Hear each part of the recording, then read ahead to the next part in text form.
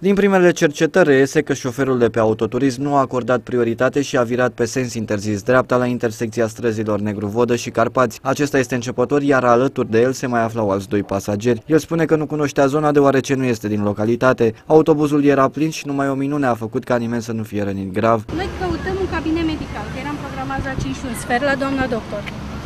Așa. Și cineva ne-a zis, zice, faceți de a doi cocoși aici, prima la dreapta. Așa ne-a explicat. Copilul a semnalizat, autobuzul a fost în stație, noi am mers pe banda noastră, copilul a semnalizat să bage la dreapta, noi știm că e interzis. Și ne-am trezit că ne-a luat trâși. De partea cealaltă, șoferul autobuzului spune că manevra efectuată de conducătorul autoturismului l-a luat prin surprindere.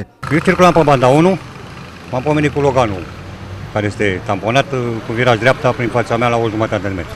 Aveați, mu- Și au căzut două persoane în autobuz pe care le-a transportat ambulanța la spital. aveați mulți călători?